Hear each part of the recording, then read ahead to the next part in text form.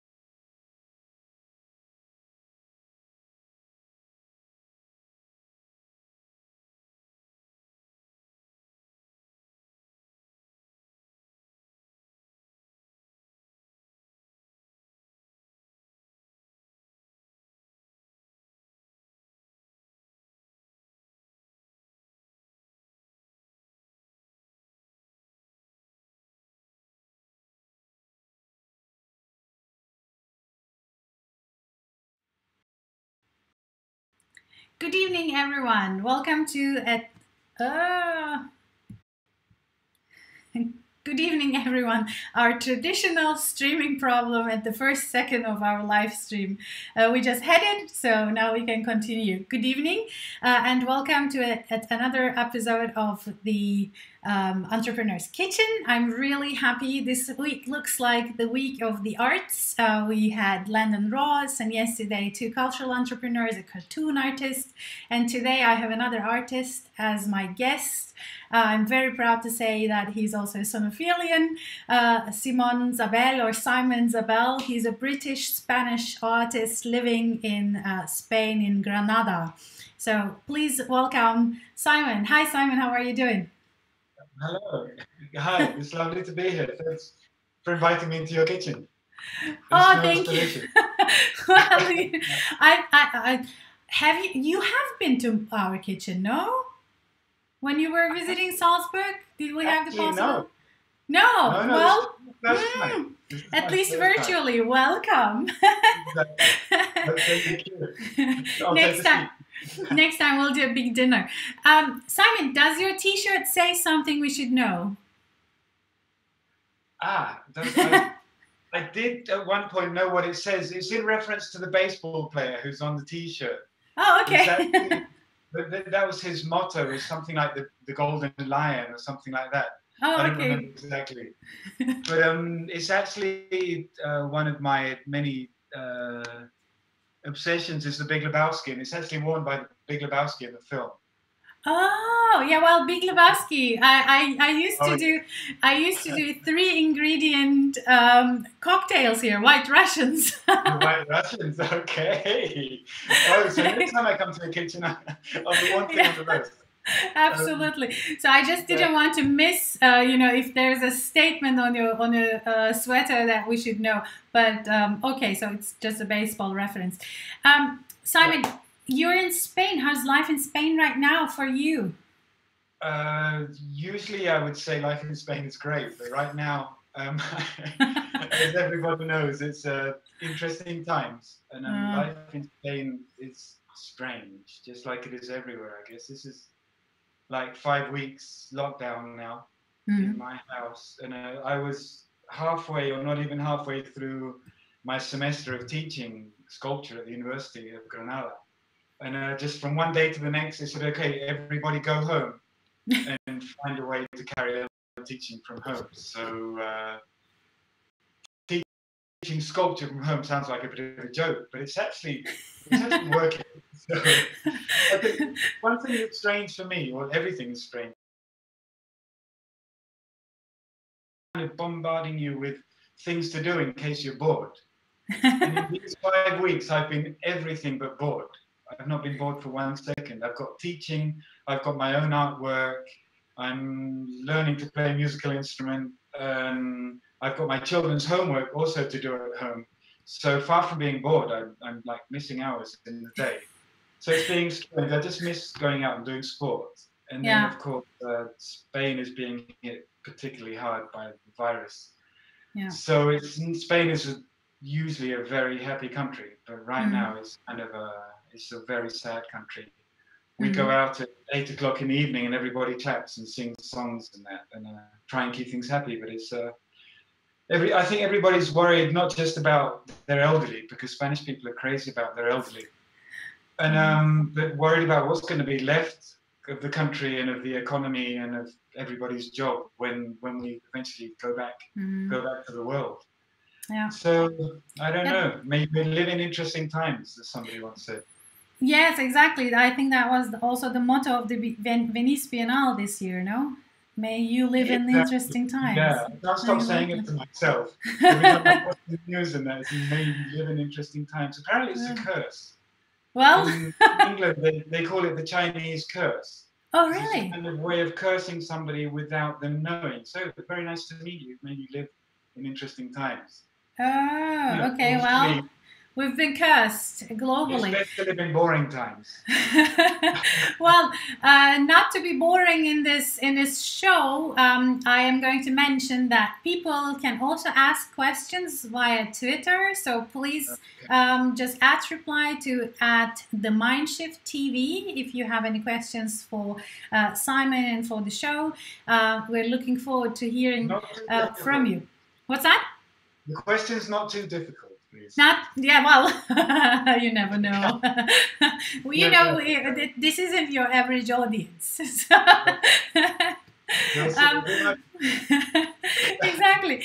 Well, Simon, but when you when you think about um, this being pushed into a new kind of um, you know form of life, um, as an artist, how do you experience this challenge? What do you do with it? When you say, you know, now the students have to do uh, sculpture at home with the stuff they find, how do you deal with that kind of challenge?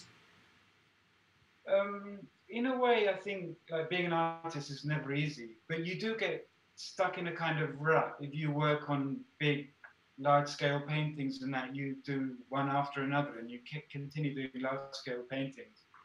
And sometimes there's always one somewhere in your head thinking, one day maybe I should do some little drawings, or I should work with little bits and pieces which I find at home. But you never actually do it because you, you've got to keep the you've got to feed the monkey. You've got to keep the ball rolling. so in, in a way, I think it's good. Okay, now I can't do large scale paintings. I can't even go to my studio. I'm stuck in my house. But I have to continue working as an artist. So this is forcing me into doing things which I would never have done before, Hmm. which I think is always a, a good thing for an artist. So in a way, yeah, there's there's some positive in these interesting times. we keep saying we keep saying so but um, also we have to talk about the food you know not only doing uh, you know sculpture work at home but also we have to prepare the food so what are you going to do Ah, what am I going to do? Okay, uh, I'm a better artist than cook. Which is okay. My wife is Spanish and she's an amazing cook, not just Spanish food, but international. So we kind of um, specialized in this family. My wife does the cooking, I do the eating. Maybe because I'm I'm very good at eating. But uh, she did. T- she has taught me to do a few dishes, and one of my specialities is uh, is Thai curry. ah So I have all my vegetables ready to go ahead with the Thai curry, which will not be the uh, famous green curry, but a massaman, which is a yellowy brown curry, which is my favorite, with um coconut and peanuts. And um, so I'll I'll do my best. good well I'm sure I will since since you know the, the one good thing about this show is that you get to eat your food yourself so, That's very selfish of you.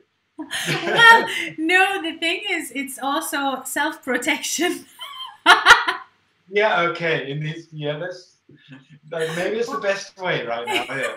or exact or, or or protecting my guests from the you know from the disasters.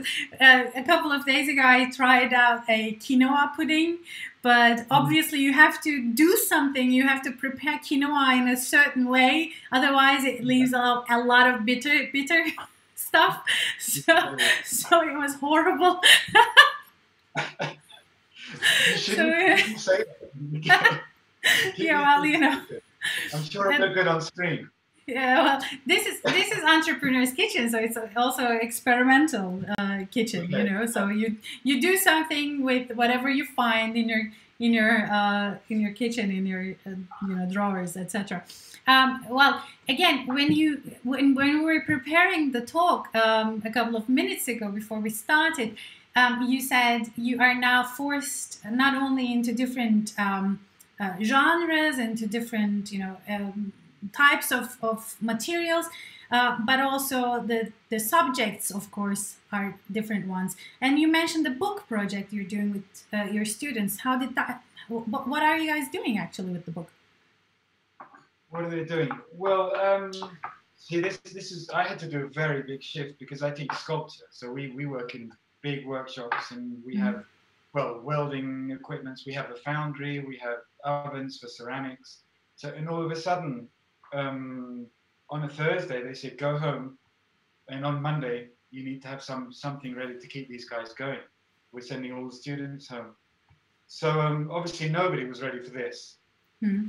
So I had a few days to think about it, and then I think for the first week I was kind of acting as a psychologist more than a sculpture, a sculpture instructor, because the students were in a state of shock, and Mm. they've been sent home and they're very worried.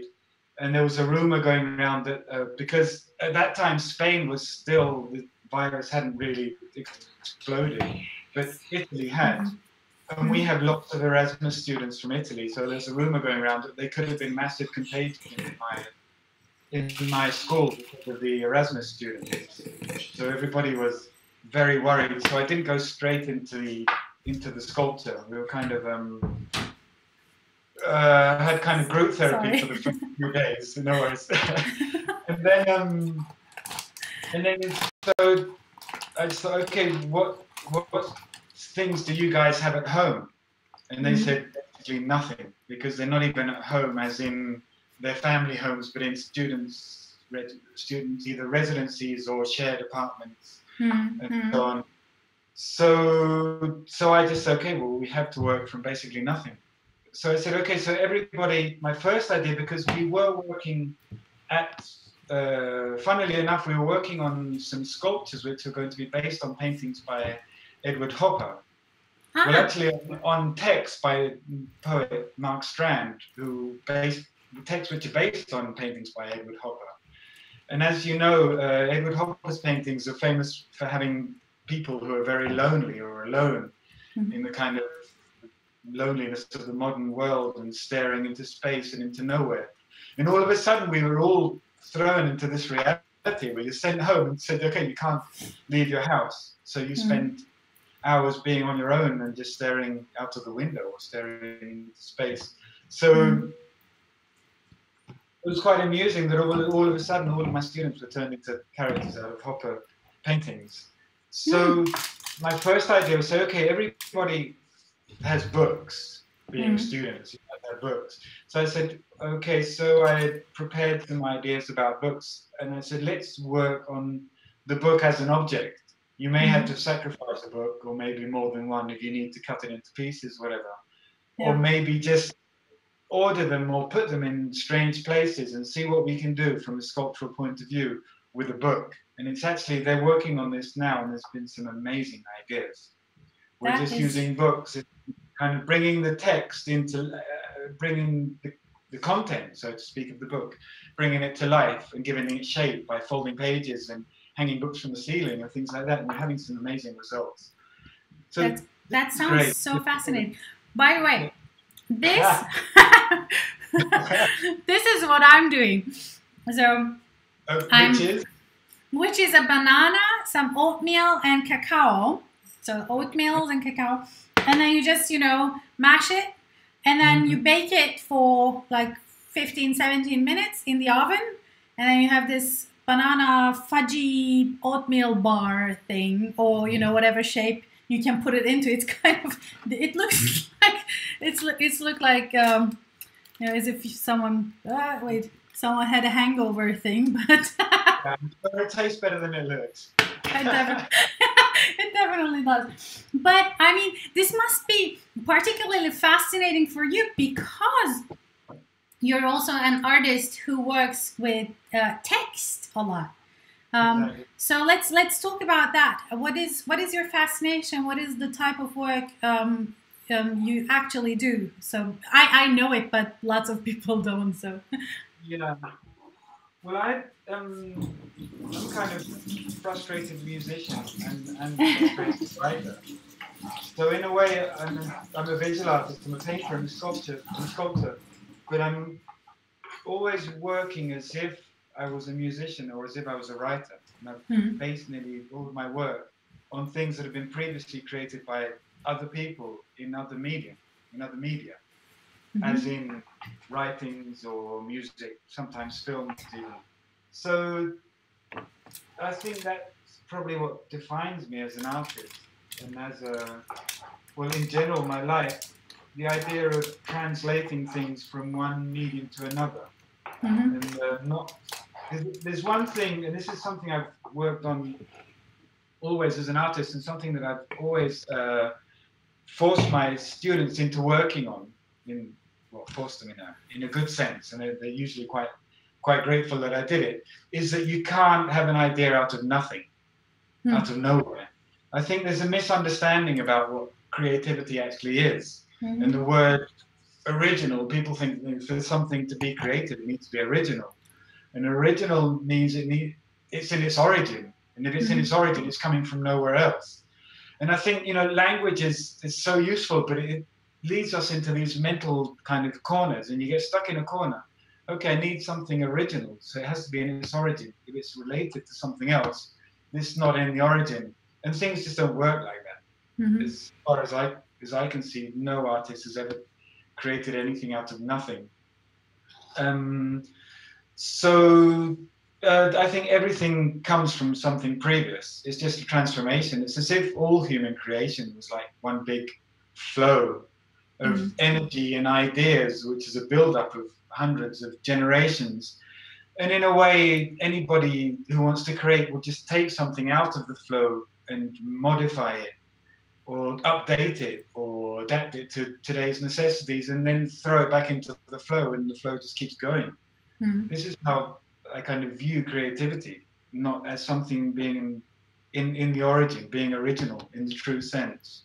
Yeah. So and I think I've kind of done a lot of campaigning that we change our idea regarding this, like the idea of self-expression. Mhm. I think art is self-expression, but mm, something not being totally original doesn't uh, subtract from it being a form of self-expression. It can Mhm. even add to it being a form. So I've worked um, like if I get fascinated by a, by a book or by the creations of another artist, I'll work by translating what they've done into my, my own visual medium. But as if like I want to create a language and then write a novel in that language. I'm not happy with English or Spanish in my case. So first I want to create a language and then I want to write the novel, so to Mhm. speak. So I guess this has been the basis of my own work as an artist and also of my teaching to to translate things. I, I grew up bilingual. Mhm. I grew up where we spoke English at home, and then we went to school in Spanish. So where you continually, your brain is going back and forth. Mhm. And in, I grew up in a large family, and kind, and in a way, the one of the bases of the humor that we had in my family was to do literal translations of things from one language to another. So we'd be speaking in English, and we'd say, "Oh, the neighbor just came round, and oh, what did he say? He said." And you would say in English literally what he said in Spanish. So that's funny, of course, because languages languages don't work like that. Languages are different, you know, they have Yeah. different structures and different. So if you just put a Spanish expression into English, literally word by word, then we'd crack up laughing. So Yeah, absolutely. Yeah. I think this is a kind of um, um, in, in massive, it has a massive potential. The idea of translating for creativity. Might I? I've often said that I think, like in the Bible, the Tower of Tower of Babel, where is about is about this. It's about creativity for me Mhm. because there here are some guys they wanted to build this tower up to the sky, and um and God was angry and he said, okay, now for wanting to do that pretentious thing, I'm going to punish you and I'm going to make you all speak different languages so you can't communicate. Mhm. So I kind of look on this like it's not a punishment; it's a gift. Because if I if I give you different languages, you're each going to have a different concept of the world. yeah. As um, uh, Wittgenstein said something like, "The limits of my language are the limits of my world." Yeah. So you're all going Mm. to have different limit, different. You're going to be living in different worlds, and you have to work together. Maybe it makes tower building a bit more tricky but it does more creative and it makes life much more fun. Yeah, So- but I mean, um, also when you when you work in different media, like you know, on the one hand you work with clay, oil, you know, the paintings, and also you know drawings and installation art, lights, multimedia. Um, it's also um, a constant translation in your brain that's going on because you have an idea and you have to kind of make that idea uh, express itself at its best in all sorts of different um, media. Exactly, exactly. Mm. So when you if you're thinking in in one medium, it, that I think that uh, neurologists say that languages are stored in different parts of your brain. Especially Mhm. you have your mother tongue in one part, and it, you have an acquired language in another part. So I think if you if you change media, as you say, if you go from clay to drawing or for designing on a computer for 3D printing and things like that, you're using a different part of your brain hmm because you're thinking in that language, so to speak. hmm So then, what I think the the communication between these different parts of your brain in these different languages is where things start to get interesting. hmm All of a sudden, it's something in drawing, but I want to do it in clay. I want to do it in volume, in space. Yeah. So it's a completely different reality. Absolutely, and I know from our you know hour long conversations in the last years um, that you are you have a very open minded conception and perception of creativity, and it is also something that you want to bring out to the world to more people. Um, you know, move them to what is inherently there and use it um, more. Um, let's talk about that a little bit because it's quite unusual for an artist to take the standpoint and say creativity is not a privilege, not an artistic privilege. It's something that uh, more people should be able to uh, live up to. Absolutely, yeah. Uh, uh, Mhm. Apologies for the long conversation. Oh no. I talked too much. I'm sorry. no, no, I love those. I mean, no, I, Yeah, well, well, you know me. I, you know, once I start, but um, yeah, th- this is what makes me, I think, um, also what makes me make sense in sonophilia for me Hmm. Is because my idea of creativity goes beyond what artists consider to be creativity is all about. Uh, The art world is very, I was going to say snobbish in a Mm. way. Like artists think that they are in possession of pure creativity, and other people are in possession of applied creativity, which is an expression I've heard you use, which I Mm. think is very, very intelligently uh, brought forward. And and also, but in a way, artists and art schools or art institutions, this may sound a little bit strange, but they're very conservative. explain. Yeah, yeah, art, art schools kind of go back a hundred years or something like that, and they were very avant-garde, Mhm. where people were put together and they could kind of um, bring their artistic and advanced ideas, and then bring them out to society. But like everything, they become old-fashioned. I mean, academies were very modern at one time, and then we realized academies are holding us back. Hmm. And in a way, art schools are holding us back because they don't want to mix with the rest of people who are working with creativity. They think Hmm. art is uh, art is pure art and should be left alone, and we should be have money thrown at us and just okay, you guys do what you have to do. And this is just not working.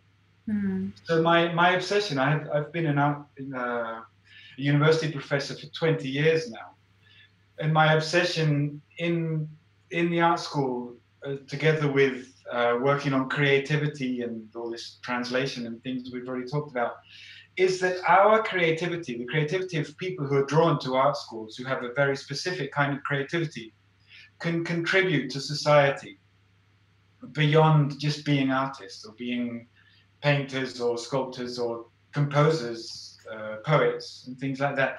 This creativity can, creativity can be really useful to society. It can Mm. it can be a part of this world that's changing so rapidly, mainly uh, through technology, and we're missing out on it.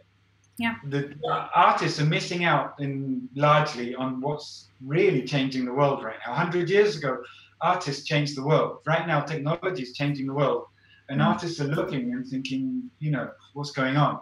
Ah, But also, I think the people in technology can benefit from the kind of creativity that we have mhm, because uh, in people in belonging to the art world, they we are totally unrelated to business for one. So if we have an idea and we think it's worthwhile, we just do it. This mhm. is the way I was educated, and I, and this is the way I work. I don't think is this going to make me any money or is anybody interested in this. Mhm. I just go ahead and do it if I can, materialize it, and then we'll see.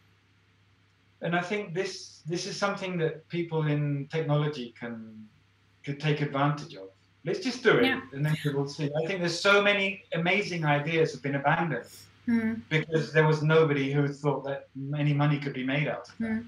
Well, it looks like science fiction has done a great job in those terms. Mhm. Um, Absolutely.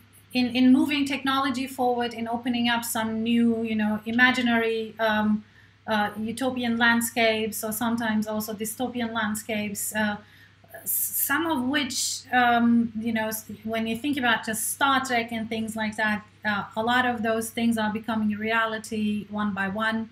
Um, Mhm.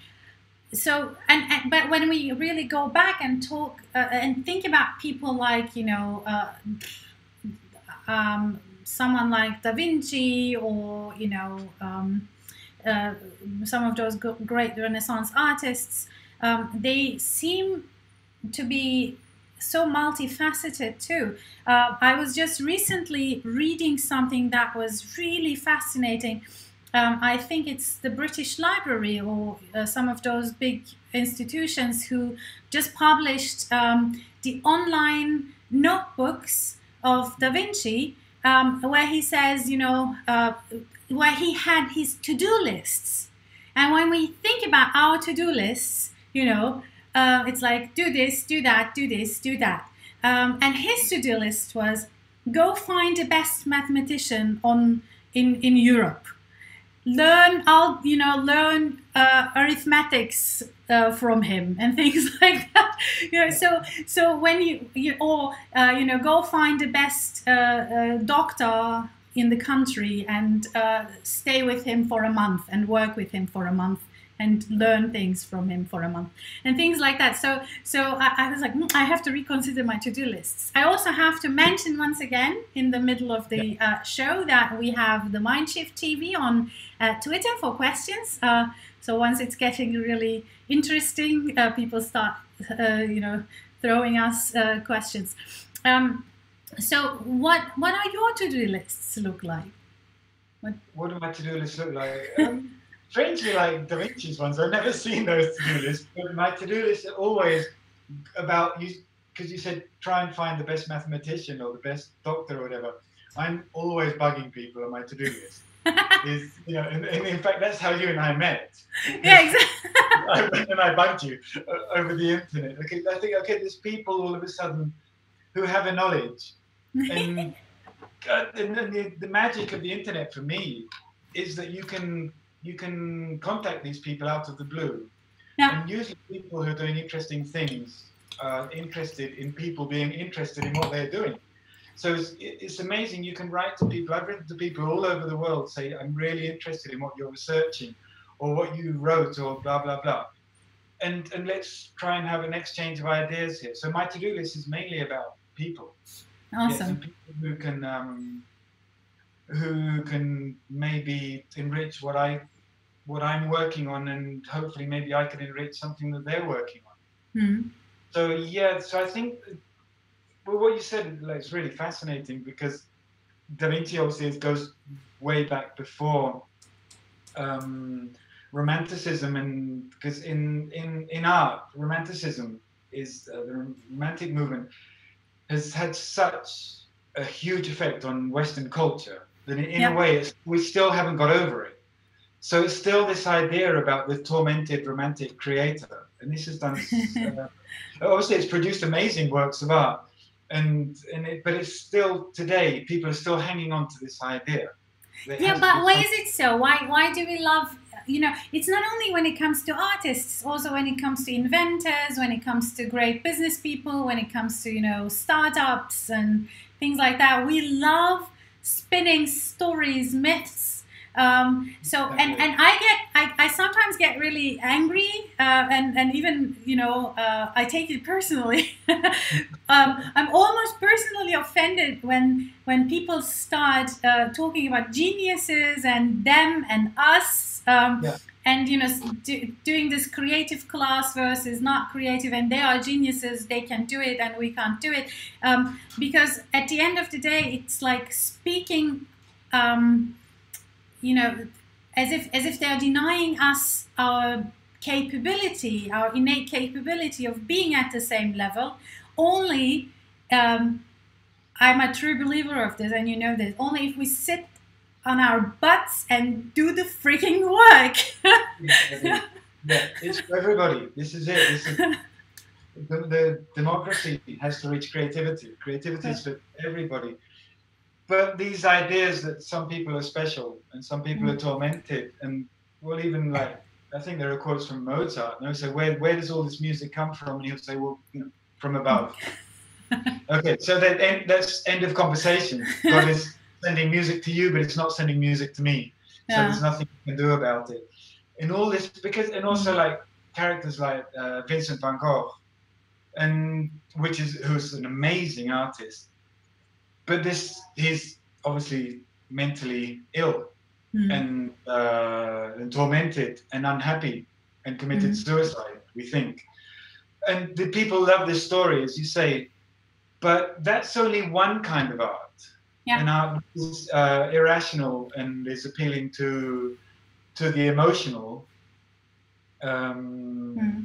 part of our intelligence. But art does not only appeal to emotional forms of intelligence; it also appeals to the rational. Hmm. And usually it'll appeal somewhere in between, which is where most of us stand. You know, somewhere between reason and emotion is where we want to be, and is where you're most likely to be happy. You don't want to be like Sheldon Cooper. That's like actually Vincent van Gogh. That's actually really interesting you say this because, um, you know, when I think of art, when I think of interesting art, uh, maybe we live in interesting times. Um, when I when I think of works that are really fascinating, then I realize that um, there are so many layers of possible interpretations and.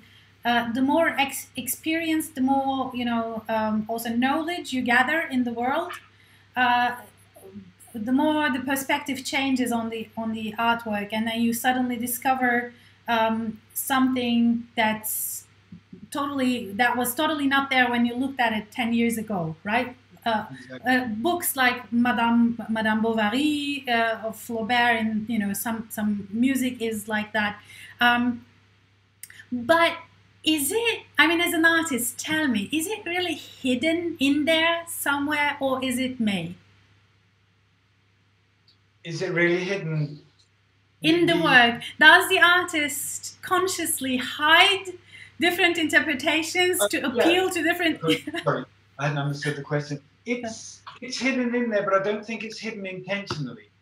okay because if, if an artist a true artist has done a, a work of art he or she has put endless thinking into it uh, prior to actually materializing it and then when while materializing it then maybe modifications once it's been materialized so there's a lot of layers as you say of thinking going into it and some of this thinking is more rational because you're having a rational day some of it's more emotional and some of it, most of it, is somewhere in between. So then all these layers are there, but you don't really think, okay, this is going to be hidden.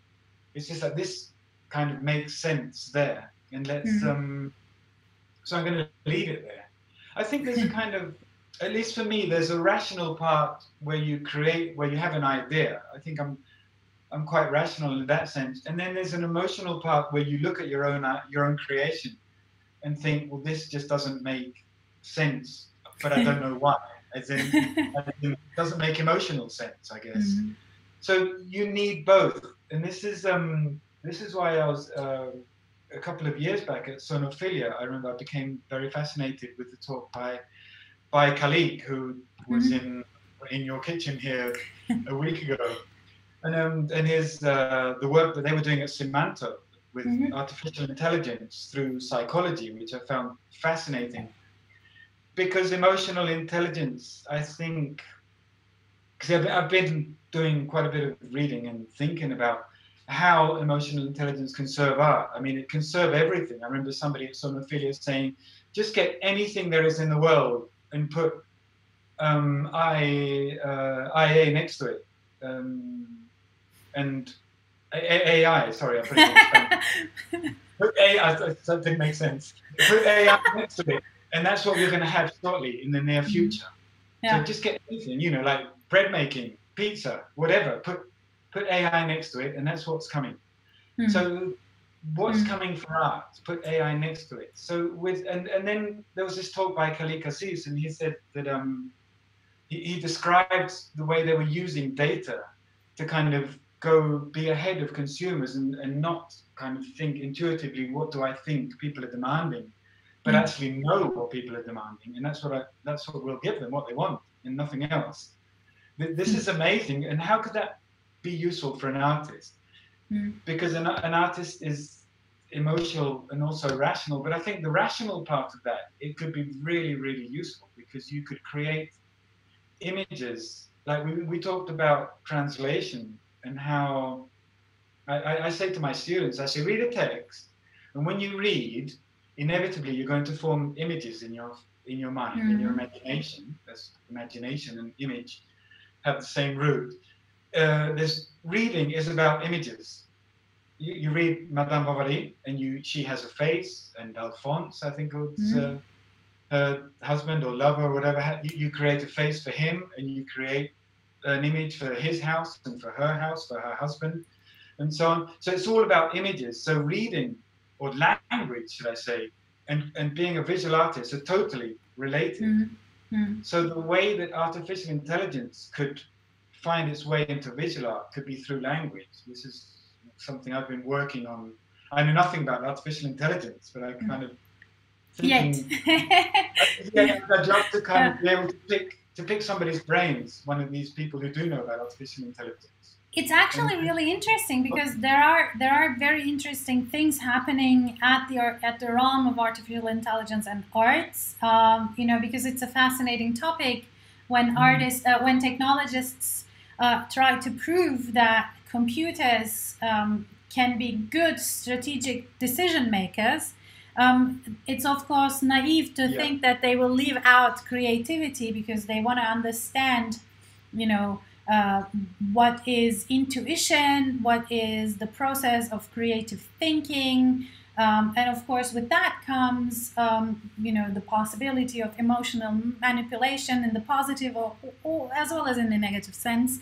Um, so these are all very interesting concepts uh, to computer scientists, and it's interesting because then they create algorithms which start creating random, you know, images which uh, learn like the art schools teach. You know, they give a Exactly. 500 years of uh, you know masterworks to a computer and then tell it you know do something of your own so it's exactly it's exactly how you know art schools art schools work or, or they give them a, a limitation or some you know some array of, of uh, mistakes and then the computer needs to come up with some random um, interesting things. So it's it's really fascinating right now. But when you um, when you start really deeply discussing about AI and creativity in the uh, informed circles, um, at some point comes the question about you know context awareness, uh, communicational intention. Um, you know this human experience from human for other humans. Um, but if you don't know who created the art, why should you care? Yeah, and I guess there's also the idea of taste. Hmm. You know, the idea of people saying, okay, I, I like this kind of art or I like this kind of music. Hmm. So, but what is that exactly? What you know, that may seem kind of more human, more emotional, and one would think maybe computing can't appeal to the emotional. But then, exactly what is taste? Because I've, I've also I was reading a book. I don't know if you uh, know Daniel Kahneman. Yes, thinking fast like- and slow. fast and slow, exactly. Yes. I was reading this a couple of months back, and um, and there's one place where he says people, and this is known by people who are in advertising and things like that. People will buy what they're familiar with. This Ah, is basically what advertising is based on. So you know, Mhm. if I make you familiar with a, a product, then when you see it in the supermarket, you'll buy it. He said this is based on a very primitive instinct that people will trust what they're familiar with. So you trust the people in your tribe because you know them and you're familiar with them, but you don't trust people who who you've never seen before. And, and this is applied to everything. And in a way, I think this could. This is not Daniel Kahneman. This is kind of one of my silly conclusions. Is that maybe, maybe taste is also related to this. Taste, Mhm. you like what you're familiar with. So taste is not something so like difficult to to define. It's just familiarity in I a have- way. I actually have a kind of controversial question at this point because when we think back about uh, you know artists um, from the Renaissance ateliers, for instance, I mean, Mm. yes, we talk about Da Vinci, but we know that he employed like 50 people in his in his workshop, so we don't even know how much of the art is really from his hand.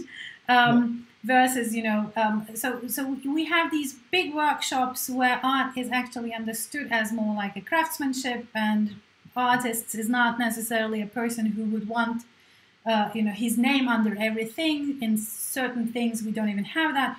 And we know that they had patrons um, who had a certain taste and the artist was more or less uh, uh, um, you know, like a service provider, um, Yeah. who was who is doing extremely well crafted um, artworks for his uh, patrons, which could be translated as um, individualized products. So I can imagine that you know, um, but what for different reasons we totally broke with that kind of notion, you know, art serving a patron, you know, being an individualized thing. So, but AI might actually empower that again.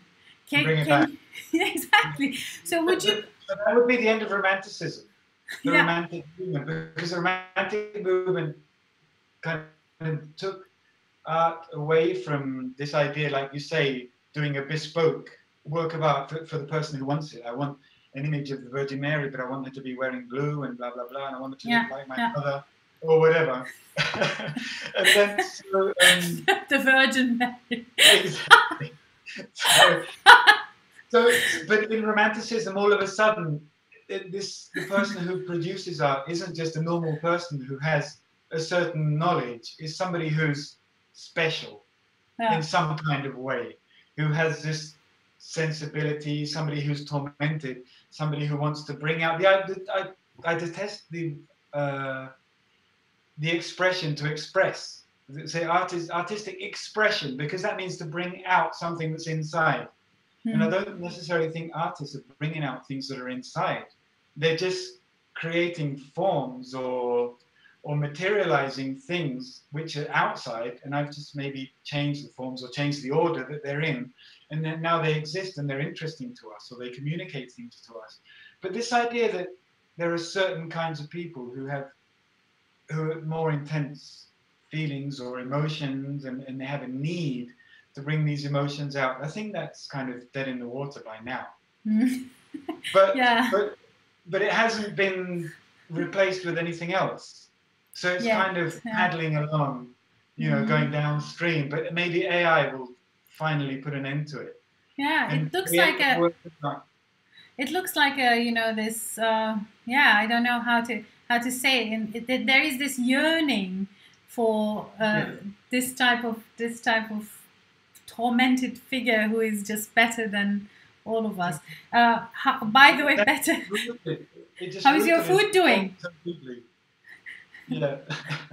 how's your how's your food doing look this is Uh, mine oh, that looks much better now. yeah this is now like a big chocolate chunk cookie Okay. yeah That's it's really really good good. it's good Okay.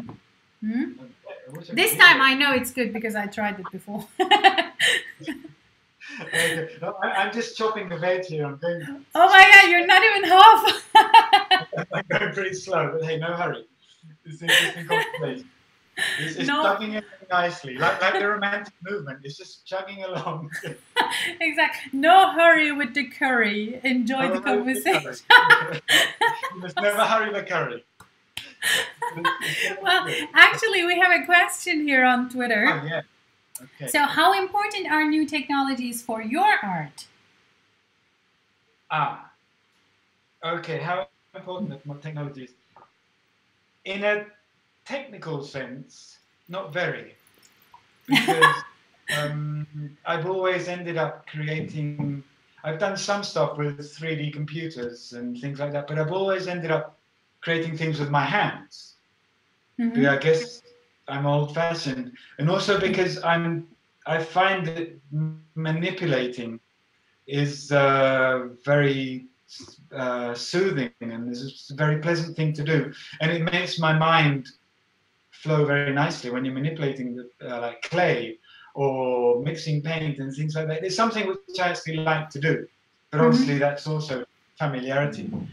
But on the other hand, new technology has always been something that's been present in my life and in my interests. Like one of my favorite bands is since I was an early teenager was Kraftwerk Ah, because of this idea of um, of applying technology to art and taking out this idea that well take the Mhm. romantic idea totally out of music and just use the cold feelings of uh, synthesizers and things like that this is fascinating and it's something i've always tried to put into my work but i've done it by hand i've not really been i, I so to say i've not had the patience with computers and things like that. I, I'll, I'll try it and then I think I'll to hell with it. I'll just make it with my hands.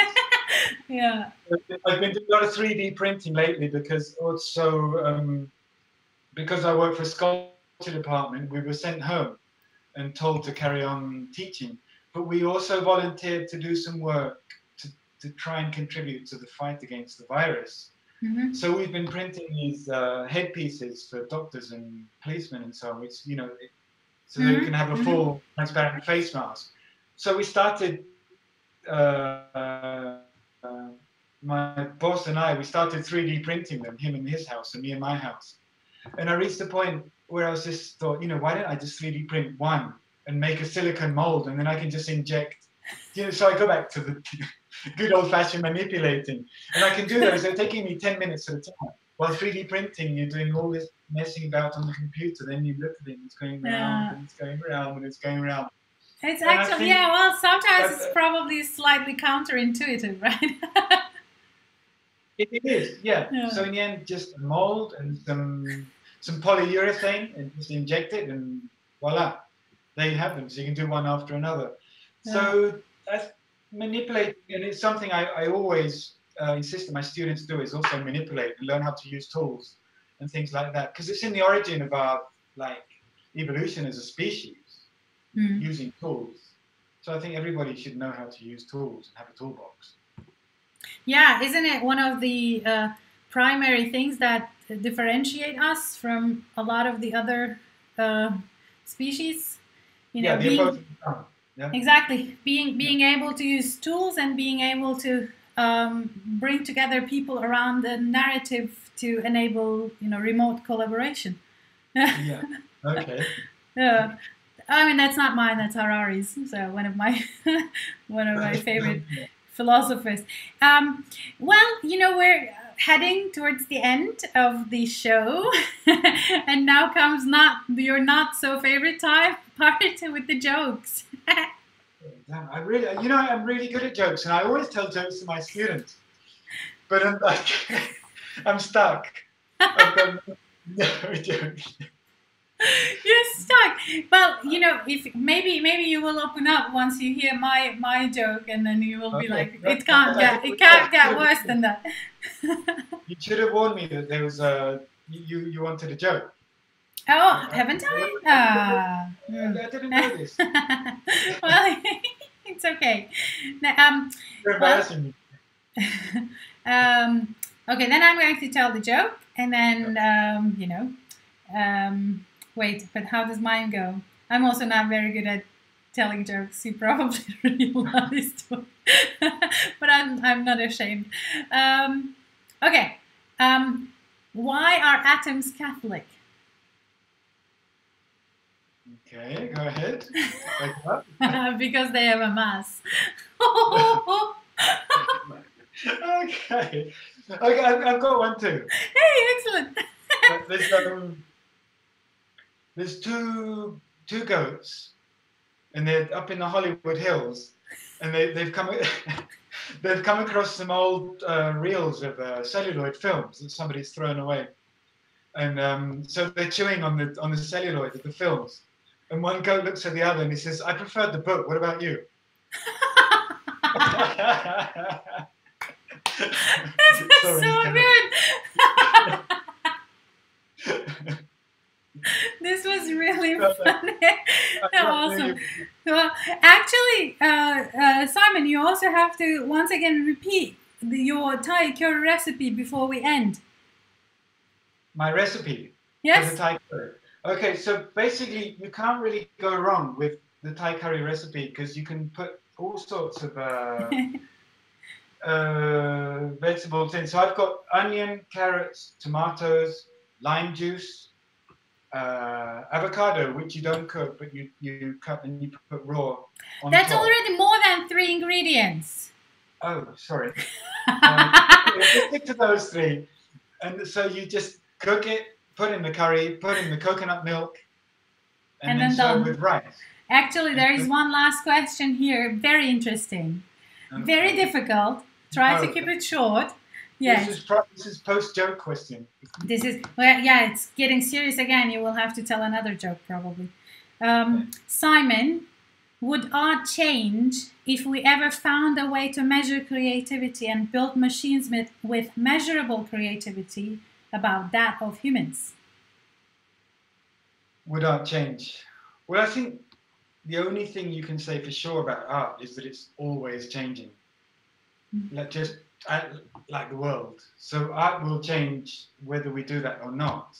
But uh, but of course, if we can measure creativity, that would eliminate the need for special people.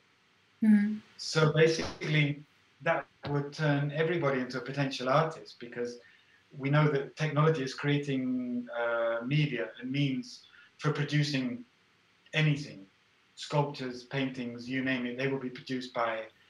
They, they already can be produced by 3D printers and by printers and plotters and things like that. So art will change. And if creativity can be measured, then we don't need the special person to have the idea to put into that machine. So then yes, art will change and art will be everywhere. So it'll change. It will change radically. I think yes. Hmm. But uh, it'll. It, art's always been like a mirror to the world. So it'll change, I guess, at the same pace that the world is changing. Hmm. So the world can look at uh, look at art and see itself in a modified way. So Hmm. I think art has to change so it can send back the image to the world of what the world really is. Hmm. So yes, I would say art has to change. Yeah, I I think that's a very very good closing. Um, I'm going to now switch You back. Okay. Yeah, well, well, well done, Simon. You hang on the line uh, because we will have a, a short after-show party with you while you're still cooking to the end. I want to thank you so much for joining me tonight. Uh, I think this was really very insightful. Uh, as I said, this is the week of arts at uh, at the Mindshift TV. Uh, we had already three very uh, fine artists and cultural entrepreneurs. Tomorrow we have a magician on the Oh, show. Yes, and I'll be and there, I'll be there. well, let's hope he doesn't disappear. Exactly. And um, yeah, so I'm looking forward to also uh, tomorrow's episode with Dan Berlin. Um, let me switch to my solo scene to say goodbye to everyone at the other end of the line. Thank you so much for tuning in. I'm looking forward to welcoming you back here uh, tomorrow night at 9 p.m. on our late live stream at the Entrepreneur's Kitchen. Stay tuned. Bye bye and have a good night.